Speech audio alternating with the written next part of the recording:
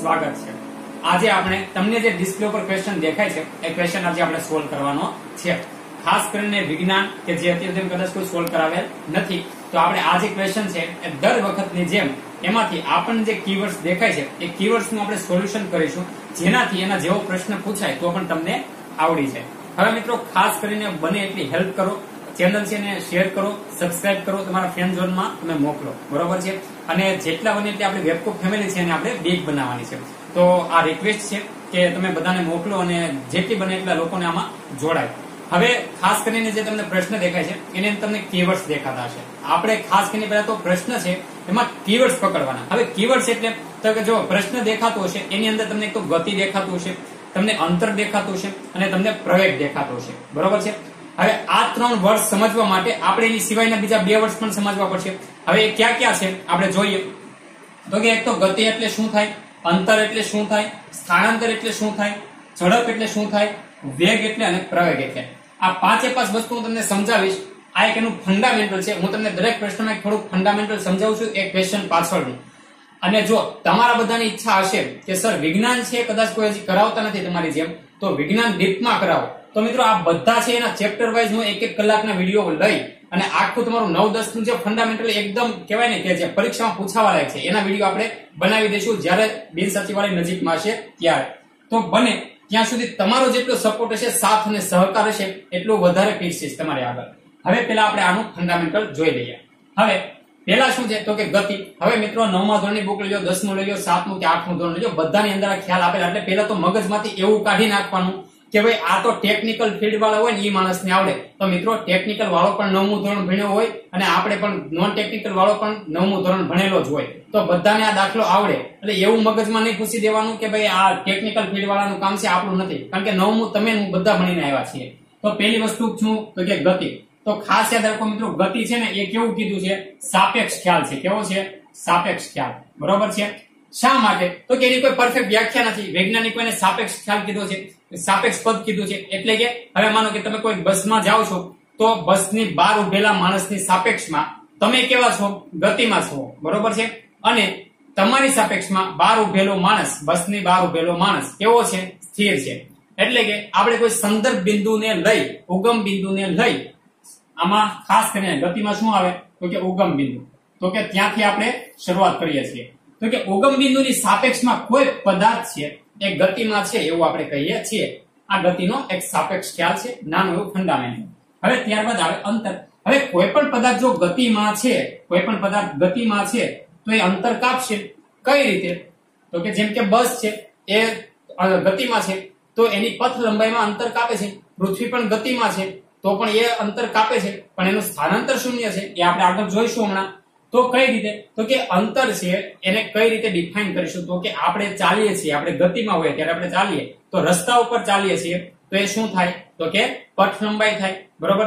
તો જે પથ લંબાઈ છે, બરોબર છે? કોની પથ લંબાઈ? પથ લંબાઈ કોની? તો કે ગતિપથની જે પદાર્થ છે ગતિપથની બરોબર છે? તો ગતિપથ એટલે કે પદાર્થ છે કે જે પથ ઉપર ગતિ કરે છે. તો ગતિપથની પથ લંબાઈ છે, એને આપણે શું કહીશું? તો કે અંતર કહીશું. બરોબર છે? આ બે ડિફાઇન થઈ ગયા. ત્રીજું સ્થાનાંતર. હવે મિત્રો, હવે આપણે છીએ તો એક રૂમમાંથી બીજા રૂમમાં જઈએ તો આપણું શું થાય? સ્થાન છે. એમાં ફેરફાર થાય. તો એને શું કીધું કે ભાઈ સ્થાનાંતર કર્યું. બરોબર છે? તો સ્થાનાંતર એટલે શું? કે સ્થળમાં ફેરફાર થવો. બરોબર છે? તમે અમદાવાદથી ભાવનગર આવો તો એ શું થયું? સ્થાનમાં ફેરફાર થયો. પણ અમદાવાદ ભાવનગર આવ્યા ભાવનગરથી પાછા અમદાવાદ જતા રહ્યા, તો તમારું અંતિમ સ્થાન અને પ્રારંભિક સ્થાન કેવું રહ્યું? તો કે શૂન્ય રહ્યું. બરોબર? હતું એને છે. તો તમારું સ્થાનાંતર કેવું થાય? જીરો ખાસ યાદ રાખો. સ્થાનમાં થયેલો ફેરફાર. તો કે કેવું? તો કે પ્રારંભિક અને અંતિમ સ્થાન છે. બરોબર? પ્રારંભિક અને અંતિમ સ્થાન. માં જે ફેરફાર છે, એને શું કહીશું આપણે? સ્થાનાંતર કહીશું હવે મિત્રો, પહેલી વસ્તુ. હવે હું ઉત્તર દિશામાં માનો કે સમથિંગ તમે કોઈ એક્ઝામ્પલ લઈ લો કે હું અહીંયાથી સામેના રૂમમાં જતો હોય, મારી સામે જે રૂમ હોય અથવા તો બાજુનો રૂમ હોય, તો આપણે એને દિશા આપવી પડે ને કે હું ભાઈ ઉત્તર દિશામાં જાઉં છું. હવે માનો કે મેં દસ મીટર અંતર છે ઉત્તર દિશામાં કાપેલું હોય, બરોબર છે? તો એ ઉત્તર દિશા, મારે ડિફાઇન કરવું પડે કે હું અમદાવાદથી ભાવનગર આવું છું, તો મારે કઈ સાઈડ આવવું પડશે? કે હું ઉત્તરની સાઈડ આવેલો હતો. તો ખાસ મિત્રો, સ્થાનાંતર છે એને એને દર્શાવવા માટે દિશાની જરૂર પડશે એને આની દિશાની જરૂર પડે. આ અમુક અમુક ક્વેશ્ચન છે ક્યારેક પૂછાઈ ગયેલા છે, એટલે તમારો ફંડા ક્લિયર થાય. હવે દિશાની જરૂર જેને પડતી હોય ને, એને કેવી કહેવાય? સદિશ રાશિ કહેવાય. કેવી કહેવાય? સદિશ રાશિ. આ યાદ રાખજો. હવે મિત્રો પથ લંબાઈ તો તમારે એવું કેવું પડે કે ભાઈ આ બસ છે, એ પાંચ કિલોમીટર અંતર કાપે, તમારે એવું કેવું પડે કે ભાઈ પાંચ કિલોમીટર ક્યાં દિશામાં કાપ્યું ના કેવું પડે. તો આ પથ લંબાઈ છે ને, દિશાની જરૂર ના પડે. બરોબર છે? દિશાની જરૂર ના પડે, એટલે એ કેવી થઈ અદિશ રાશિ થઈ. હવે મિત્રો, આ બે વસ્તુ થઈ. હવે મિત્રો, ગતિ છે. તો આ અંતર છે. હવે અંતર કાપે છે. તો અંતરનું આપણે માપન તો કરવું પડે. તો અંતરનું માપન આપણે કઈ રાશિથી કરીએ? તો કે આપણે આ અંતર છે, તો એનું માપન છે, આપણે ઝડપ નામની રાશિથી કરીશું. કઈ રીતે? તો કે ભાઈ, મેં કેટલી ગતિથી, માનો ગતિનું આ પદ છે, એનું ડિફાઇન આપણે ઝડપથી કરીશું. તો મેં કેટલી ઝડપથી ગતિ, મેં કેટલી ઝડપથી અંતર કાપ્યું? જ્યારે પણ ઝડપને અંતર છે, એને આપણે ડિફાઇન કરવું હોય. માનો કે કોઈક હોય, એ દોડતો દોડતો કાપતો હોય, કોઈક ચાલતા ચાલતા, કોઈક બાઇક લઈને, બરોબર, કોઈ ફોર વ્હીલ લઈને, તો બધાની ઝડપ છે બધાની જે ગતિ ગતિ પથની જે કાપે છે અંતર, એ કેવું હોય? અલગ અલગ હોય. તો એના માટે આપણે એકમ લાવ્યા ઝડપ, બરોબર? તો ઝડપ એટલે શું થાય? તો કે ભાઈ અંતર, અંતરના છેદમાં સમય. હવે બીજી વસ્તુ આપણે ભૌતિક રાશિની અંદર કોઈ પણ વસ્તુનું માપન શેના આધારે કરીએ? તો કે સમયના આધારે કરીશું. કેના આધારે કરીશું? તો કે સમયના આધારે કરીશું. એકમ સમયના આધારે. તો આ થયું. તો અહીંયા શું થાય? ડી છેદમાં સમય એટલે ટી તો એનો ડી અંતર શેમાં માપીએ આપણે? મીટરમાં. તો મીટર અને સમય છે એ કેમાં માપીએ? તો કે સોરી ટી બરોબર છે? સોરી એસ આવશે. ટી તો એનો સિમ્બોલ છે, પણ એસ એનો સેકન્ડ નો એકમ છે. બરોબર? તો એમ બાય એસ હવે મિત્રો, આ કોની વાતથી ઝડપ નહીં થઈ પણ મિત્રો, હવે આ બે જ રાશિ છે ને, એ ખાસ સમજવા જેવી છે. વેગ અને પ્રવેગ. જો તમને હું એકદમ શોર્ટમાં સમજાવું છું, બાકી આની ઉપર લેક્ચર લ્યો ને તો એક એક કલાકનો લેક્ચર થાય. પણ ઇન શોર્ટ હું તમને સમજાય જાય એવી રીતે બધી માહિતી છે, લાવેલો છું. હવે જેમ કે ઝડપ મેં શોધી લીધી, બરોબર છે? હવે ઝડપ શોધી લીધી, તો ઝડપમાં પણ ફેરફાર થાય કે નહીં? તો ઝડપમાં ફેરફાર ક્યારે થાય? તો કે મારું પ્રારંભિક સ્થાન અને અંતિમ સ્થાન છે, બદલાય ક્યારે? તો મારા પ્રારંભિક સ્થાનથી અંતિમ સ્થાન સુધીમાં હું ગયો. ત્યાં સુધીમાં મારી ઝડપમાં જે ફેરફાર થયો, એને શું કહેવાય? વેગ કહેવાય. તો વેગનું સૂત્ર શું થાય? તો મિત્રો, મેં તમને કીધું કે પ્રારંભિક સ્થાન અને અંતિમ સ્થાનમાં આપણે જઈએ, ત્યારે આપણે કોને ડિફાઇન કરીશું? સ્થાનાંતરને. તો વેગ બરાબર શું થાય? તો કે સ્થાનાંતર. સ્થાનાંતર છેદમાં સમય. તો સ્થાનાંતર પણ આપણે માપીએ કેમાં મીટરમાં. બરોબર? એટલે આને આપણે v છે. વેગને કયો સિમ્બોલ આપશું? v તો v is equal to d by t, બરોબર છે? ડી બાય ટી તો અંત ઝડપ. સ્થાનાંતર કેવામાં આપશું મીટરમાં. અને સમય સેકન્ડમાં. તો મીટર ઇન્ટુ સેકન્ડ ઇનવર્સ આ એનો એસઆઈ એકમ થઈ ગયો. હવે મિત્રો, પ્રવેગ એટલે શું? તો કે જ્યારે વેગની અંદર ફેરફાર થાય, એને આપણે શું કહીશું? પ્રવેગ કહેશું. આ ખાસ યાદ રાખજો. આમાં બહુ ડીપમાં ના પડવું, કારણ કે આપણે ફિઝિક્સ બીએસસી પીએચડી તો કરવું નથી. એટલે બહુ ડીપમાં ના પડવું, પણ ફોર્મ્યુલા ખાલી યાદ રાખી હવે પ્રવેગ એટલે શું? તો કે વેગમાં ફેરફાર થાય. શું થાય? વેગમાં ફેરફાર થાય. તો અને આપણે એનું સમયમાં માપન કરીએ અને વેગ એટલે શું થાય? એ સિમ્બોલ આપેલો છે. તો એ ઇઝ ઇક્વલ ટુ વેગમાં ફેરફાર થાય, બરોબર?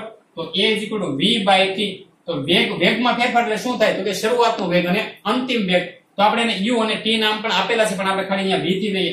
તો હવે આનો એસઆઈ એકમ મેળવવો હોય તો? વી નો એસઆઈ એકમ કેટલો છે? એમ ઇન્ટુ એસ નો ઇનવર્સ છેદમાં ટી તો ટી એટલે હજી સમયમાં આપે તો એસ ઉપર જાય, તો હજી એક માઇનસ ઘાત થાય, તો એમ ઇન્ટુ એસની માઇનસ 2 ઘાત. ખાસ મિત્રો યાદ રાખજો. હવે બીજી વસ્તુ, આમાં સ્થાનાંતર આવ્યો, આમાં વેગ આવ્યો. તો સ્થાનાંતર આવ્યું, તો સ્થાનાંતર કેવી રાશિ હતી? સદિશ રાશિ. તો વેગ કેવી થાય? સદિશ રાશિ. બરોબર? હવે વેગ સદિશ રાશિ થઈ, તો પ્રવેગમાં આવ્યો. તો પ્રવેગ કેવી થાય? એ તમારે જાતે ડિફાઇન કરી લેવાની છે. બરોબર? કારણ કે લિસ્ટ તો છેલ્લે હું આપી જ દઈશ, પણ આ તમારે બને એટલી જાતે થોડી મહેનત કરવાની એ બાને તમે કોન્સેપ્ટ પણ વાંચી લેશો. તો ખાસ મિત્રો આ ફંડામેન્ટલ મેં તમને સમજાવી દીધા કે ગતિ કોને કહેવાય અંતર કોને કહેવાય સ્થાનાંતર કોને કહેવાય ઝડપ કોને કહેવાય વેગ અને પ્રવેગ કોને કહેવાય. હવે ખાસ ક્યારેક આવા પ્રશ્ન પણ પૂછાતો હોય. તો કે પથ લંબાઈ. તમે કોઈ દિવસ એવું કહો મેં માઇનસ પાંચ કિલોમીટર અંતર કાપ્યું? નહીં કહો તો યાદ રાખો પથ લંબાઈ હંમેશા કેવી હોય? ધન હોય. કેવી હોય? ધન હોય. બીજી વસ્તુ સોરી બીજી વસ્તુ અ, સ્થાનાંતર છે. તો સ્થાનાંતર ઝીરો પણ હોઈ શકે ઋણ પણ હોઈ શકે અને મ- અ, ધન પણ હોઈ શકે. તો સ્થાનાંતર છે મિત્રો, એ કેવું હોય? પ્લસ પણ હોય, માઇનસ પણ અને ઝીરો પણ હોય. બરોબર? આ ખાસ યાદ રાખજો. કોણ? સ્થાનાંતર. તો આ ખાસ આટલા કોન્સેપ્ટ છે એ યાદ રાખો. હવે આના ઉપરથી આપણે જે આપણો મેઇન જે કોન્સેપ્ટ છે એ આપણે જોઈએ. હવે મિત્રો, આપણે ફંડામેન્ટલ જોઈ લીધું. ખાસ કરીને હવે યાદ રાખો કે પ્રારંભિક વેગ બરાબર વી ઝીરો અંતિમ વેગ વી શા માટે? આપણે પ્રવેગમાં શું? વેગનો ફેરફાર. તો મિત્રો, યાદ રાખો, ગમે ફિઝિક્સની અંદર ફેરફાર એવું કીધું છે ને, એટલે શું હોય? તો કે એને બાદબાકી કરેલી હોય. કોની? તો કે અંતિમની અને પ્રારંભિકની. એટલે અહીંયા આપણે શું કીધું? પ્રારંભિક અને અંતિમ. તો વી ઝીરો પછી વી આ ખાસ યાદ રાખો. સિમ્બોલ ખાસ યાદ રાખજો, કારણ કે એમના સૂત્ર આપણે યુઝ કરવાના છે. બરોબર? પછી પ્રવેગ એટલે એ થાય, સમય એટલે ટી અને અંતર એટલે ડી હવે મિત્રો, આ છે એના ઉપરથી આપણે નવમા ધોરણ, સાતમા ધોરણ મેં કીધું બધી બુકની અંદર ક્યાંક ને ક્યાંક ફોર્મ્યુલા આપેલા છે. તો એની અંદર ખાસ મિત્રો આની ઉપરથી એક કહેવાય કે રેખીય વેગીય સમીકરણ? અથવા તો પ્રવેગી સમીકરણ એ તારવેલા હોય. તો એના આપણે જે ત્રણ સૂત્ર છે, એ આપણે સૂત્ર લઈએ, બરોબર છે? તો એક સૂત્ર એવું છે કે વી માઇનસ વી જીરો યાદ રાખજો મિત્રો, હંમેશા વી માઇનસ વી ઝીરો જ શા માટે?